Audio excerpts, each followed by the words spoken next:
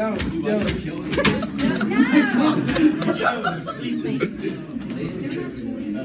Damn, my man clapped those cheeks. I mean, that's just how this technique is done in the South. I love how mad the lady gets at the end. She's like, they're not toys. Apparently, these things go for like $10,000, these CPR dummies. If I spend $10,000 on a doll, I better be able to at least slap it around a little bit.